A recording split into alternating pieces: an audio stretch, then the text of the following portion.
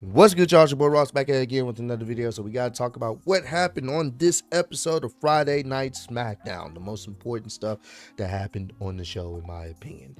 So we got to talk about how the show started off with uh Solo coming out there with the new bloodline and you know doing the normal stuff. Hey, y'all gonna have to acknowledge me. Crowd booing, chanting OTC. Solo not trying to hear it he basically let it be known like, nah, boys is going to have to acknowledge me. Roman, when he gets here, he's going to acknowledge me. And if he doesn't, then the beatings are going to keep happening. We're not stopping until he acknowledges me. So instead of Roman music or, you know, uh, anybody else's music hitting, because uh, they weren't there at the show yet, Jey's music hit. And Jey comes through the crowd. Crowd uh, starts yeeting with him. Cool moment to see Jey out there. And even as he's getting to the ring, I love how Solo uh, he's kind of getting into his in his to his own with this heel uh this heel persona that he's been doing this new version of the tribal chief. He was like, man, go ahead, go ahead, just just do your yeet stuff because Jey's out there yeeting with the crowd on the turnbuckles and stuff. He just do your yeet stuff. So he comes down and he's like, hey man, I see you trying to, you know, doing your thing. I'm not gonna lie to you. This is not the right way to go about it. Like this is, I, I feel like you're you're going about it the wrong way. Like you're separating the family, you know, instead of actually, you know, trying to bring the family together. I mean, I left. I left. You know my issues. I left and went and became the Intercontinental Champion. But the way you going about this solo. This is this is not the way you need to do it. And then uh, you know, and also throughout the the promo, you know, Jey is basically saying, "Look, you still gonna always be my little brother. You know, I, am still love you. You're always gonna be my little brother." And I figured Solo would have some, you know, not like that. And he was like, "Hey, first and foremost, you know, are you done yapping? All you been, all you was doing is yeet, yeet, yeet. Like you done? That's what you got to tell me. First and foremost, don't I'm not your little brother. I'm your tribal chief. So you should acknowledge me as your tribal chief. And he was like, look, that's that's just what it is right now. Like, yeah, you doing your thing, that's cool. But at the end of the day, you know, you need to acknowledge me as your tribal chief. Either you down with that or you not, and it's gonna be a problem. So Jey was like, look, um, you know, he didn't really give his answer on him being, you know, acknowledging solo, but he was like, look, if you want to do that, that's fine. But my real question becomes why them? Why did you get the Tongans? Why did you get Tama Tonga? Why did you get Tonga Loa? What was the purpose of bringing them? There's a reason why we didn't ask them to be a part of it. And why did you even get Jacob Fatu? And to be honest with you, if he don't stop looking at me like that, we can go, we gon' we gon' we can go right now. And he got up in Jacob Fatu's face. I was like, that is good. Cause Jacob Fatu just had the prayer hands, but he's looking at at Jey like he read, you know, at the moment's notice. At a moment's notice, whenever Solo says jump, he gonna say how high and go at, at, at Jey. But Jey, like that, he had no fear in his heart. He was like, hey, bro, if he keep looking at me like this, way Jacob Fatu, Fatu looking at me, we can go right now. Like, what's up? And Solo had to hold him back. I was like, oh, that's that's good. Love what they're doing there. But ultimately, he's like, man, I'm not rocking with this, bro. I don't know what you got going on, but this ain't this ain't the route, bro. This ain't the right way to go and he ended up getting out the ring. And obviously, I, I do think where they're setting this up, I can see a situation where maybe Solo ends up sending um, uh, Jacob Fatu to cost uh, Jey, uh, uh, Jey's uh, Intercontinental Championship match he has on his upcoming Monday against Bron Breakker. I can see that happening. He act he initiated to like, hey, bro, I don't know who you looking at, but we can go right now if you got a problem with it. So I can see Solo, after, you know, Jey pretty much called out Jacob, I can see Solo sending his enforcer to, you know, cost him the title, you know, and and it, it's one of those things where uh Solo didn't get the response he wanted. He didn't get the acknowledgement from Jey. So he leaves, nothing else happens. But I do think that's what's possibly going to happen. Um, he will send either Jacob or maybe even the Tongans, maybe all three, to cost, uh, potentially cost Jey his match on Monday Night Raw against Bron Breakker. So uh, Jey Intercontinental Championship reign may come to an end on this upcoming Monday. So we'll see. But great segment though. Love it. Love what they did there. So Roman and uh Jimmy pull up, and I guess they got exclusive access to be listening to uh Travis Scott's unreleased track of sorts. So they vibing, pulled up or whatnot, and they see Jey, you know, kind of, you know, going in the direction they just came in. And it's funny because Jimmy is always getting left hanging. You know what I'm saying? He doesn't get left hanging with Roman, but now he's getting left hanging from his brother. He tried to get a dap from uh Jey they just smiled at him. And then he looked at Roman and then he walked off, but Roman pulled him back. And they, you know, they they looked at each other and Roman said, Hey man. He looked at the title, titles like, I'm proud of you. We all proud of you. And you can see Jey still not really rocking with Roman, still has issues with him. And basically he hit him with the no yeet and he just he looked at him with disgust. He did he has he doesn't doesn't want to have anything to do with Roman. So he walked off. I'm like, ah, oh, they're they're they're slowly cooking this.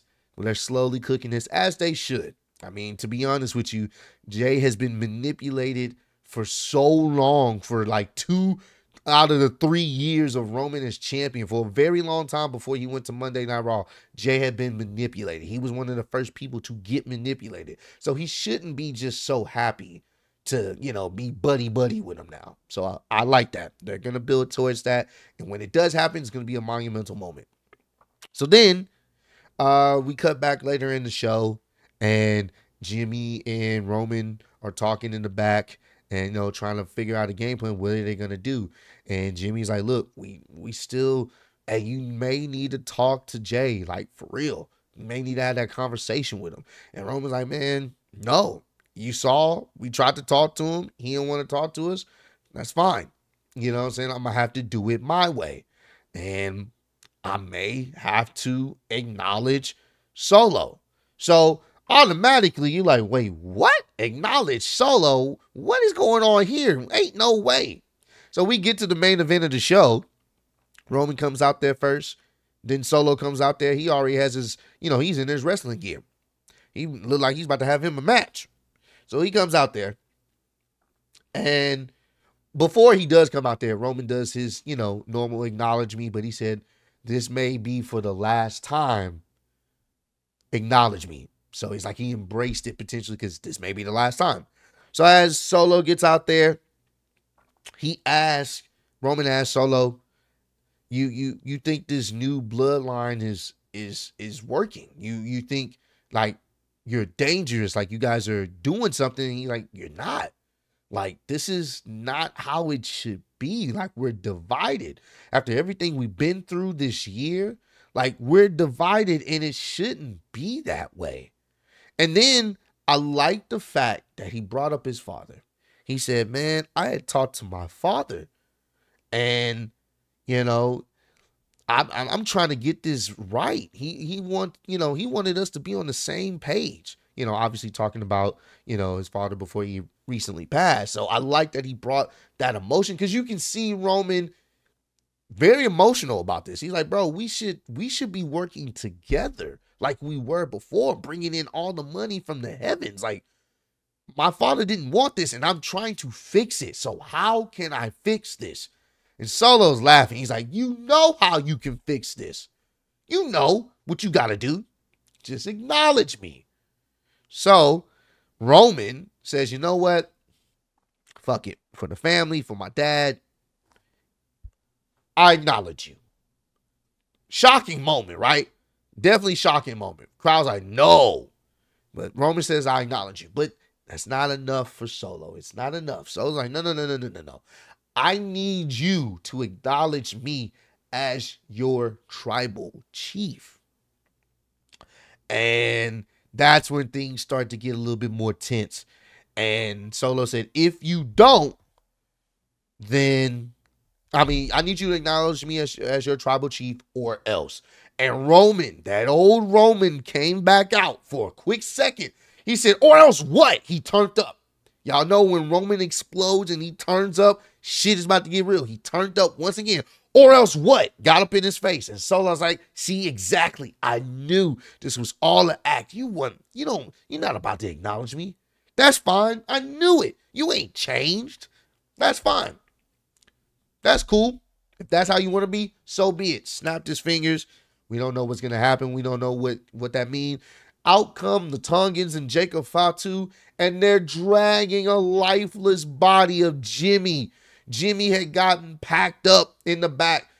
They did all types of unspeakable Samoan damage to Jimmy in the back, face all bruised up, bloodied up.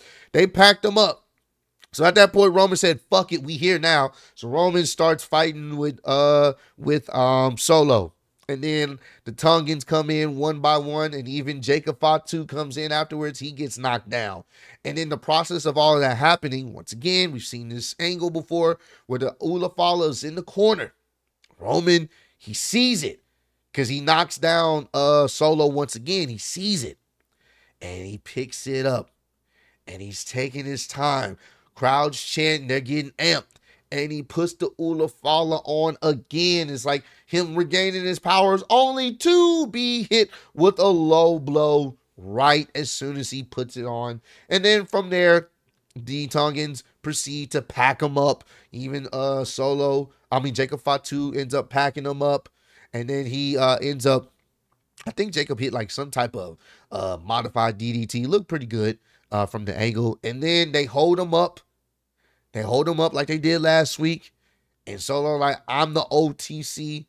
You shouldn't acknowledge me. I'm the OTC now. Hits him with the Samoan spikes. Roman selling it like a million bucks. Then he picks him up again, talking his trash like I'm the OTC now. This is what this is what's gonna keep happening to you. Hits him with another Samoan spike, and we end off the show as Jacob puts the Ulafala back onto Solo, and Roman is pretty much been incapacitated once again by this new version of the bloodline. And I love it. I love it. You don't see Roman getting packed up. Throwing up the X for Roman is kind of wild. You, you don't really see that. So I, I definitely like the fact that Roman isn't going to just be able to overcome these odds like he used to. He's a tribal chief with no tribe. We've seen that. Cody foretold this a few years ago. When you lose, who will you be? You will be eventually, people will turn, people will leave you. You will be a tribal chief with no tribe. And everything that's happened is happened.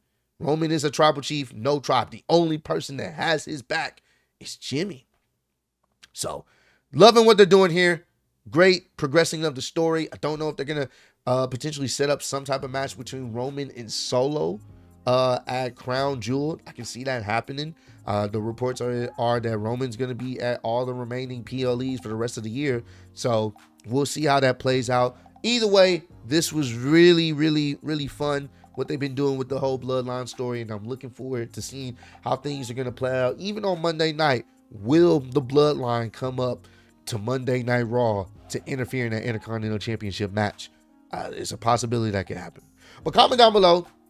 Let me know. Are you guys enjoying what they're doing with the Bloodline story so far? Uh, me personally, I am. I, it's a slow build, but they're building it up at the right pace. And I do think for Survivor Series or the War Games match, the OG Bloodline versus the new Bloodline, it's going to be fire the way they set that up. So, but let me know also if you enjoyed the show, uh, this episode SmackDown, what you rate the show on a scale of 1 to 10. But I appreciate all love, support. Road to 150K. Appreciate y'all kicking in with me. See you next one. Peace.